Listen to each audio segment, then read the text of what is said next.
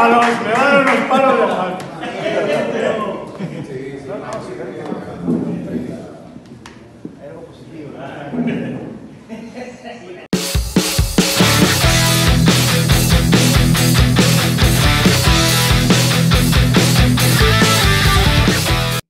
Saludos amigos de Saque Inicial, donde todo comienza. Sean todos bienvenidos a una edición más. Ahora en esta ocasión, analizando el nuevo seleccionador nacional de la selección absoluta masculina de la República Dominicana.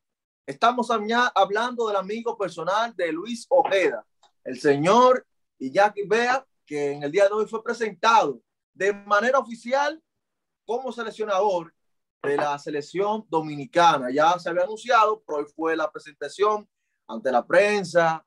Eh, vimos eh, lo que nos contó parte de su proyecto y para conversar de eso y más, me estará acompañando un equipo de lujo de la escuadra de fútbol total RD, Marvin Alexander, el señor Marvin Beltrés.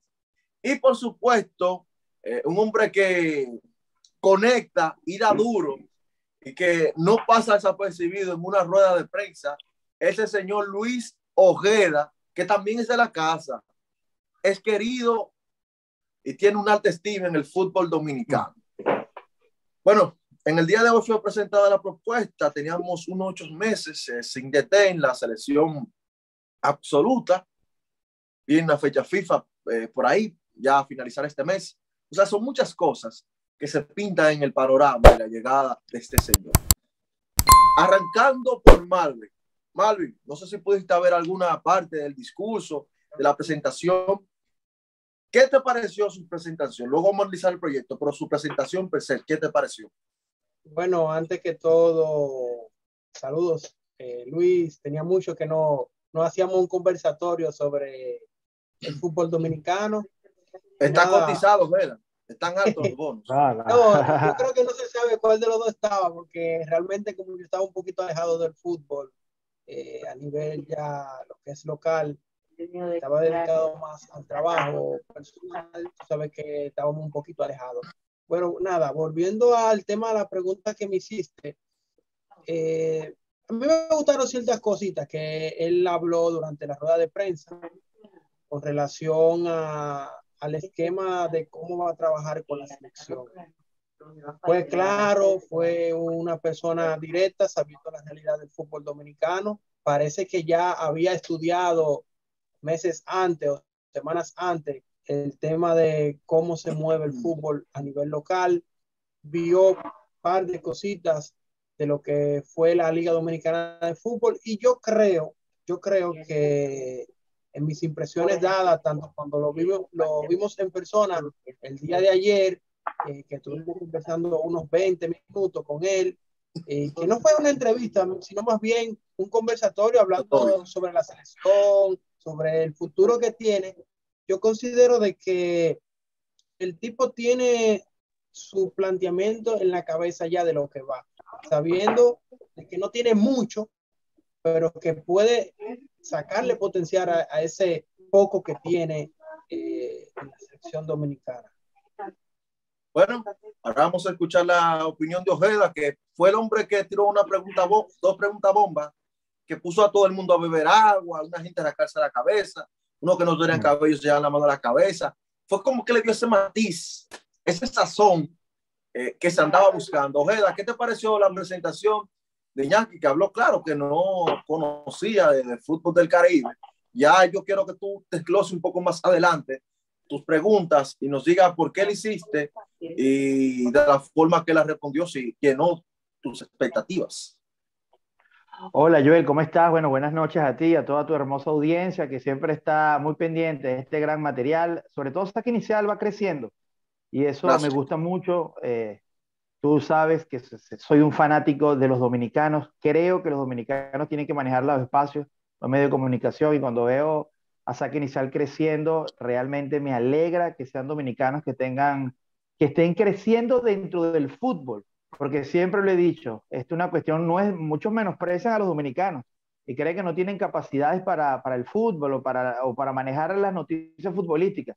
Pero yo siempre le digo a los detractores y a la gente que que creo que le quita los espacios los dominicanos, que ustedes son campeones del mundo en béisbol y manejan y tienen equipo de 100 años y tienen eh, una cultura beisbolística, son el Brasil del béisbol. Yo creo que con el cambio de chip es un cambio que, que, se, lo, que se va a hacer con el tiempo, los dominicanos van a tomar eh, los espacios y me alegro muchísimo de que Saque Inicial, Fútbol Total RD y otros más eh, estén creciendo. Te quiero mucho, sabes que eres mi hermano dominicano, siempre te lo digo. Malvin también es mi hermano dominicano, estoy feliz de estar con él un hombre que me brindó la ayuda cuando yo llegué a este país. Igualmente, bueno, no está con nosotros, Edwin, Edwin Sánchez, que también Edwin lo está, considero. Edwin está en, un viaje ahora mismo, está Sí, en, sí. la que estaba viajando en un jet privado. Sí, sí, sí. Él está ya, él está en otros lados ya. y me alegro mucho, ustedes tres, bueno, son mis hermanos y cada vez que ustedes me llamen, yo siempre estaré pendiente para mi hermano dominicano. Mira, Joel, yo creo que eh, eh, esta rueda de prensa hoy fue, fue buena, yo creo que fue muy positiva, pero habría que verla como tú la quieres como director de saque inicial, por donde la quieres eh, enfocar. Las declaraciones de Rubén, las Tu declaraciones... Las tuyas, aquí no, aquí no se corta nadie que no hable de esto, hable lo que usted quiera. Claro, claro. Sí, porque, porque te digo que dentro del contexto, si se quiere ordenando, el primero que habló, vamos, va- vamos a hacerlo, vamos a llevarlo como fue, la, como fue la rueda de prensa.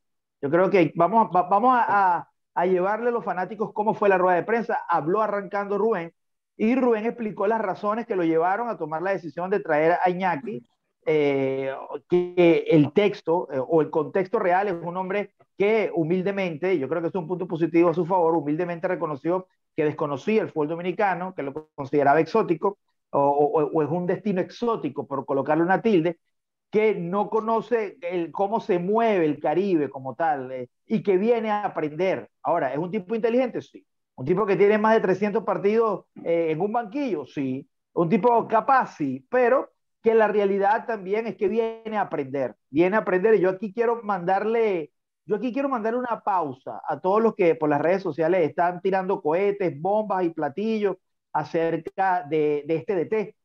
Una de mis preguntas para Rubén fue, ¿cuál fue, cuál fue lo que lo motivó a él a traer a este entrenador? Yo, le, yo utilicé la característica sin experiencia, porque realmente no tiene experiencia. Y hago una salvedad, porque lo que se necesita para salvar a la República Dominicana de las humillaciones, porque yo creo que los últimos cuatro procesos futbolísticos nos han pateado en la cara. Ya isla donde nosotros ya nos cuesta ganar, donde antes ganábamos, que es la realidad, hay que decírselo a los fanáticos. Aquí se ha perdido la identidad en la selección, ya prácticamente me atrevería a decir que no nos respetan en el Caribe. Equipos como Santa Lucía nos han vencido, se nos complica ganarle a Dominica, eh, cosa que antes era impensable. Eh, y, y, es la realidad, y hay que decirlo así. No hay que, te, no, hay que, que, darle, por lo menos antes se le ganaba a Puerto Rico 5 a 0, ahora se, le, se cuesta ganar a Puerto Rico. Y hay otras islas del Caribe que están creciendo y contra ellos tenemos que jugar. Es la realidad. Yo le digo a la gente que hay que llevar esto calmado porque este hombre, por más capaz que sea, viene a aprender. Y la gente quiere resultados, la gente le va a pedir resultados. Esto es algo que eh, es, eh, son, porque tienes que verlo de que el entrenador y el cuerpo técnico y el presidente van a pedir tiempo para que se desarrolle un proyecto. Pero los que estamos del otro lado, que hemos, que hemos, que hemos estado chupando las derrotas y las humillaciones de los últimos cuatro entrenadores, no vamos a tener esa capacidad. Y lo digo ahorita porque no se va a tener paciencia y esperamos, y esperamos de que todo salga bien. Pero si tú me dices a mí, una, algo que hay que pedirle al pueblo dominicano va a ser paciencia va a ser paciencia, porque él lo reconoció, que él no es el salvador del fútbol dominicano, que él no viene a salvar a nadie, él prometió trabajo, sí, hay que verlo como trabaja, pero no es lo mismo, no va a cambiar, el equipo no va a cambiar, si nos enfrentamos hoy con Barbado, Barbado tiene a la tapí, eso no va a cambiar, porque Barbado tiene mucho más que recorrido, es otro equipo, y tal vez no vamos a ganar el compromiso, nos va a costar ganarle a Barbado. Por ponerte un ejemplo de un partido de tú a tú recientemente, porque ya Guiñaki al banquillo no se le va a ganar Barbados ni se van a tocar resultados de la noche a la mañana. Por eso hay que tener paciencia. Ahora, él tiene que comprender también de que se va a enfrentar un público dominicano que va a pedir resultados y lo va a pedir porque ese es el deber ser. Él como entrenador va a pedir misericordia, va a pedir que se le, que se le dé proceso y hay que entender lo que es así, pero él también tiene que entender que se tiene que trabajar sobre la marcha que este, este equipo de la República Dominicana, que la afición de la República Dominicana no se puede esperar dos, tres, cuatro, cinco años a que Rubén García y a que el señor Iñaki puedan dar los frutos de una selección. ¿Por qué? Porque ya no lo soporta más. El fútbol dominicano no lo soporta. El fútbol dominicano a nivel de selección ya no soporta un proceso formativo de muchos años. Tiene que formarlo, sí. Ahora, si tú me dices a mí cuál es la verdadera capacidad o qué, cuál es el verdadero reto de Iñaki, no es formar una selección, no es formar un proyecto, no es trabajar con las bases, no es hacer crecer, no. Eso es parte de su responsabilidad, pero tiene que ser lo suficientemente inteligente. Este señor tiene que ser lo suficientemente inteligente para ir procesando, para ir creando, para ir virtiendo sus ideas, crear un proyecto a largo plazo, pero que lleve resultados sostenibles en el trabajo. Y eso es lo más complicado de un entrenador cuando agarra una selección moribunda, porque esta selección de la República Dominicana está moribunda. Esta selección da pena. Esta selección es el hazme reír, me atrevería a decir. Y se lo puedes preguntar a Jonathan Faña, se lo puedes preguntar a los históricos del fútbol dominicano, que ellos mismos te pueden dar de que esta selección no refleja la identidad de aquellas islas, de aquellas islas que ya nos están superando. Puerto Rico nos está superando, muchas de las islas que están alrededor nos están superando en todos los estratos. ¿Hay que apoyarlo? Sí, pero también hay que pedirle resultados y hay que pedirle también proyectos. ¿Cuál es el proyecto que viene? Bueno, una excelente explicación por parte tuya. Regreso a Marvin. Marvin, se habló de un proyecto a trabajar los dos años, quizá para el fútbol es un tiempo corto, pero ¿crees prudente que se le dé un contrato de dos años a Iñaki para que desarrolle, como dice Ojeda, un trabajo en, que para el fútbol es un corto plazo, pero que es un tiempo considerable para él tener ciertos partidos y uno conocer de cerca su trabajo? Bueno, mira, Joel, recuérdate de que me escucha. Sí, sí, perfectamente. Sí, perfecto. Eh, hay un tema con relación al contrato. Recuérdate que ya se aproxima lo que es las selecciones, las elecciones de la Federación Dominicana de Fútbol. Yo considero y creo que fue lo correcto hacer un contrato a dos años, porque ya en dos años se va a celebrar eh, las siguientes elecciones. Ahora bien, también veo correcto de que no se le dé un contrato a largo plazo para evitar conflictos contractuales. Sabemos que ya hemos tenido malas experiencias, como lo fue el caso de Cheche Hernández, donde se tardó varios meses para poder concretar lo que fue la contratación y luego que vio la realidad, entonces se aquejó con el tema de los impagos. En aquel entonces, cuando estaba el ingeniero Ciris Guzmán, eh, hubo una gran queja con relación a, la falta de pagos, eh, las condiciones, y ese tipo de cosas él la, salió a hablar años después. Fue reciente que eh, Cheche comentó sobre el trato de la selección dominicana, que no es una novedad para los medios, no es una novedad para los jugadores, donde ellos fueron los que vivieron ese problema, pero yo considero de que para mí es el tiempo perfecto para que pueda eh, disputar lo que es la Liga de Naciones y así tener eh, chances para lo que es los torneos futuros que se celebre de la selección dominicana. Eso es importante. Bueno, una pregunta para Ojeda. Tú que estabas allá, sentado al lado mío, eh, le hice una pregunta al profe que por qué no era pertinente realizar un partido ahora, aunque sea con los jugadores de la LDF, que van a tener una o dos semanas ya jugando la LDF, armar como un all-star de los que no están en la selección y servir de sparring a la selección, algo interno. Él habló de, se optó por la opción de un convivio para ir organizando, compenetrándose con los muchachos, esa parte la puedo entender. Ahora, ¿está Luis Ernesto Ojeda de acuerdo con que no se celebre partidos o partidillos en el mes de marzo y que solamente se haga una concentración? Es que el detalle aquí, el detalle es la irresponsabilidad de la Federación Dominicana de Fútbol, porque la federación, si hubiera tenido, yo no ni siquiera estoy hablando de proyectos, yo creo que la selección, eh, yo creo que la irresponsabilidad de la Federación Dominicana es muy grande en, desperdiciar, no solamente esta fecha FIFA, yo he sido muy tajante en las redes sociales, que así, aquí se han desperdiciado fecha FIFA prácticamente desde de que se fue fácil en junio se desperdició la de octubre, la, de noviembre, la de septiembre también no se jugó y no se va a jugar en marzo porque ya lo dijeron que no se iba a jugar. Ahora, ¿por qué es una irresponsabilidad? Porque es que los partidos amistosos, y aquí a la gente no se le puede vender humo, no se le puede engañar. Los partidos amistosos, por lo general, no se cuadran de un día para otro. Los partidos amistosos tienen su tiempo para poder agendarlo. Yo creo que la República Dominicana sin entrenador, ojo, sin entrenador, pudo haber cuadrado un partido amistoso y obviamente sobre la marcha trabajar para la llegada de un entrenador que pueda tener o que pueda jugar. Porque, ¿a qué te, te voy a dar yo mi teoría? ¿Quiénes van a venir? Yo te pregunto a ti, ¿quiénes van a venir en junio, en, marzo? ¿Quiénes van a venir? La primera línea de eurodominicanos no van a venir, no van a venir. La segunda de los medianos tampoco vendrán porque el proceso ni siquiera ha arrancado. Van a venir posiblemente una tercera, una cuarta línea que ya nosotros los conocemos o otros nombres por allí que se puedan anexar, pero que no van a ser ponderantes. No van a ser ponderantes, no van a cambiar la dinámica de un partido amistoso donde, ojo, donde los, los jugadores del patio sí podían sacarle provecho. Pero la realidad, Joel, te lo he dicho cada vez que te veo en este programa y en la calle, la realidad es que al no tener liga, porque no tenemos liga ni siquiera. Estos jugadores ni siquiera puedes hacer una convocatoria con los jugadores del patio, porque los jugadores del patio están fríos. O sea, ¿contra quién vas a jugar? Si las otras selecciones ya están calientes, ya tienen su liga, están jugando eh, a un calendario FIFA y nosotros en la LDF vamos al sentido contrario del calendario FIFA. O sea, la federación, obviamente que no va a hacer partido, no tiene sentido hacer un partido. ¿Para qué van a hacer un partido? Si este hombre todavía no tiene el feeling con los jugadores eurodominicanos, todavía no se sabe, porque él lo dijo en la rueda de prensa y lo dijo a Radiomarca, iba a tratar de convencer a ver jugadores que vinieran. Si eso no se da, apostará por los mismos eurodominicanos que hemos visto en los últimos, en últimos procesos. Pueden llegar, pero ya ellos llegan con ritmo. Los jugadores del patio no tienen ritmo. La fecha FIFA prácticamente es dentro de dos, tres semanas. No hay chance para que jugadores dominicanos que apenas están haciendo pretemporada lleguen ajustadamente un partido. El director técnico no va a coger ese riesgo. La Federación Dominicana de Fútbol no va a invertir tampoco en un partido sabiendo que las condiciones favorables, eh, por lo que te estoy explicando, son complicadas. Ahora, no va a haber partido. Es ilógico hacer un partido con todo lo que yo te estoy comentando, pero vuelvo al inicio de tu pregunta.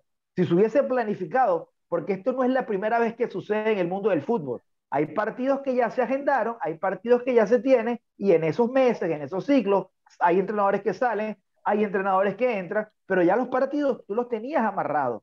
Lo que va a hacer ahora Iñaki la federación es lo que se tiene que hacer. Hacer un ciclo de convivencia, porque no le queda otra, reunirse y fíjate bien, ojo, y vámonos a los récords, y vámonos a la historia. Yo creo que la primera vez que pasé, estuve en una fecha FIFA y, quiero, y alguien se me lo puede corregir, también hizo unos módulos de concentración en San Cristóbal también, con la selección, la primera vez que él tomó la selección. no sé, corrígeme, pero pareciera que fue una tendencia que ningún entrenador de la Federación Dominicana, que yo me acuerde, por lo menos de los dos últimos, han agarrado en, en, no más toman la selección, en su primera fecha FIFA han hecho un partido. Creo que todavía nosotros no estamos a ese nivel. Lo puede hacer, lo pudieron haber hecho. Ahora, Irse a la concentración, como él mismo lo dijo, para buscar química, para buscar identidad, para buscar convivencia, es lo único que nos queda. Tampoco nos vendan esa idea como que es la mejor idea, no. Es lo único que pueden hacer tras todos los argumentos que te he colocado.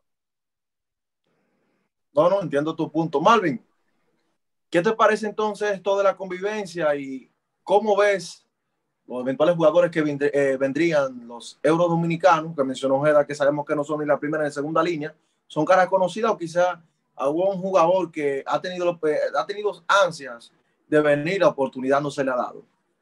Bueno, mira, yo te digo que históricamente, como comentabas también el señor Ojeda, eh, es lo ideal es lo ideal. No podemos matar el tiempo con amistosos sabiendo de que lo que queda es cuestión de días. Fíjate que en los inicios de Pasi, Pasi tuvo dos amistosos antes de entrar a la Liga de Naciones, pero Pasi ya había empezado el 14 de, si mal no recuerdo, de agosto del 2019, había comenzado su ciclo de, de partidos amistosos. Tuvo dos amistosos donde uno quedó empatado, que fue el de Guatemala, y el otro que fue en el exterior, en Emiratos Árabes, cuando jugaron allá el 4-0. ¿Qué te quiero decir con esto? De que Iñaki vino con la realidad. Iñaki no va a venir como un santo. Recordemos que la diferencia entre Iñaki y Pasi es que Pasi ya viene conociendo el Caribe. Pasi viene, eh, Eh, yo, yo, yo, yo, creo, Malvin, que el de el Emiratos creo que estaba David González en el cargo. Creo. El de Emiratos creo que estaba. el 30 de. El 30. Eh, déjame ver. Creo que estaba David todavía, sí. Creo que estaba David. Sí, efectivamente, escúchame, efectivamente. Que fue cuando se hicieron los viajes con los periodistas y eso. Sí, la efectivamente, sí. sí. El primer partido de, de, de Pasi fue contra Montserrat y no tuvo amistoso en, eh, o sea, amistoso oficial. Lo que sí tuvo fue partidos eh, en lo que fue en San Cristóbal y también hubo un amistoso a puerta cerrada con varios equipos de la LDF allá en Casa de Campo, creo que era que se estaban alojando. Pero lo que te quiero decir en, en contexto es que yo creo que lo ideal sería eso ya. No podemos eh, arriesgarnos a buscar amistosos sabiendo de que un amistoso se, se tarda eh, una negociación fácilmente un mes, dos meses, hasta tres meses puede durarse una negociación con una selección que ya sea de Centroamérica o de Europa. Y no es verdad que, por ejemplo, un Bolivia en una semana se va a concretar una negociación para un partido amistoso. Sabemos eso, hay que, hay que, hay que aterrizar en la realidad de que Iñaki, y como bien dijo Ojeda, las opciones que tiene eh, son pocas y tiene que adaptarse a lo que, a lo que hay en la realidad.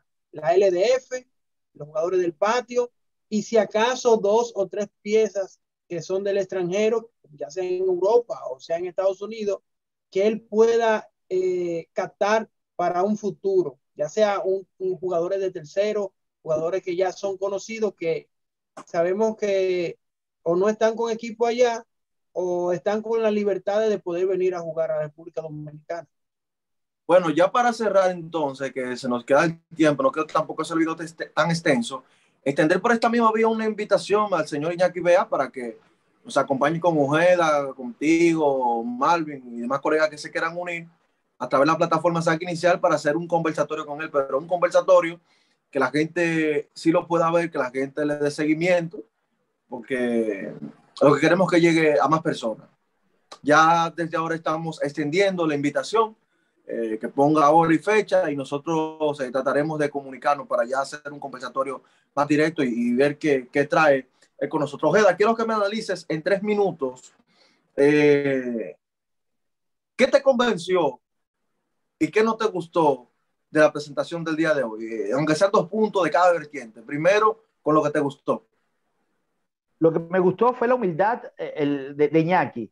Iñaki está claro lo que viene, está claro que se tiene que adaptar, está claro que hay terrenos malos, está claro del concepto eh, del fútbol dominicano, está claro muchas cosas y esa parte es muy importante.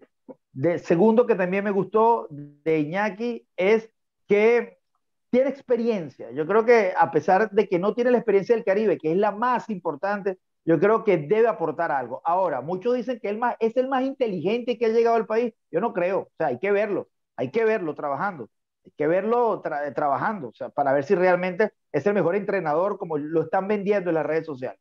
Ahora, ¿qué no me gustó? No me gustó algo que es sumamente grave, algo que no sé si alguien lo notó, no sé si alguien lo agarró en la rueda de prensa, pero dijo que se iba a adaptar también a los jugadores que tiene y esto lo iba a llevar a él obviamente, a presentar un esquema de juego, eh, me atrevería a decir, si se quiere, adaptándose al rival de turno. Y esto es un indicio, seguramente, que no vamos a ver una versión de juego de la República Dominicana por muchos años hasta que él no consiga la identidad.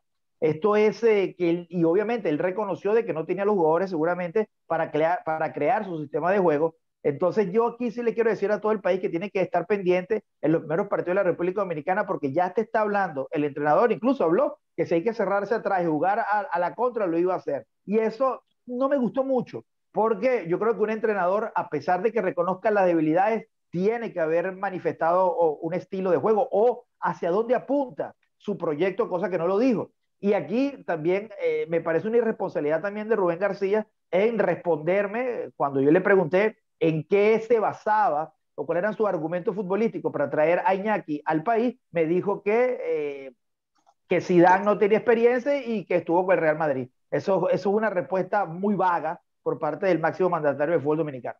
Ahora, otra cosa que no me gustó, te he dicho las dos que me gustaron, te voy la última que no me gustó, es que quiere que la selección juegue en Europa, quiere llevar a la selección a Europa, y esto es gasto, esto es inversión, esto es dinero. Esto no lo pudo ni siquiera lograr, Capelino no lo logró. David González solamente se fue estuvo en Qatar, estuvo en Emiratos y fue un proceso también por diferentes negociaciones muy positivas, pero Pasi no lo logró eh, y todos prometieron que la selección iba a jugar a Qatar. No es que no me haya gustado lo que haya dicho, sino que ojalá, ojalá que esto se dé y que la selección pueda estar en Europa. Bueno, esperamos que así sea. Eh, tenemos que irnos, tenemos un compromiso en Instagram Live breve, aunque este video va a salir después, pero es lo que se quiere. Ya está abierta la convocatoria para el señor Iñaki Bea, que está por aquí. Estaremos esperando por él. También le voy a escribir en sus redes personales. Y recuerden suscribirse, no dejar su comentario y seguir dándole like para que sigamos creciendo. Recuerden seguir a Fútbol Total RD, seguir a Saque Inicial RD para que el fútbol dominicano siga creciendo. Ese es el canal donde todo comienza.